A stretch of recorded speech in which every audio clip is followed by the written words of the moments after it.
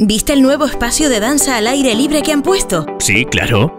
Fue a través de los presupuestos participativos. En la edición de los presupuestos participativos 2021, gracias al esfuerzo de todos, ya disfrutamos de espacios accesibles, de una zona de recreo cultural en las afueras del CIFP Los Gladiolos, de la mejora en la zona canina del Parque de Acoraita para nuestras mascotas, y hasta un espacio de danza multidisciplinar al aire libre.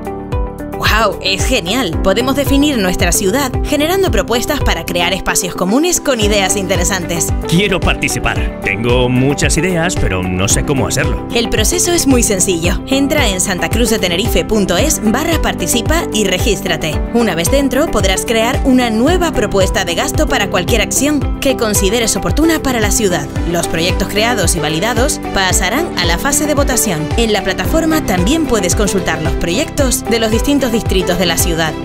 Santa Cruz, la ciudad que construimos las personas.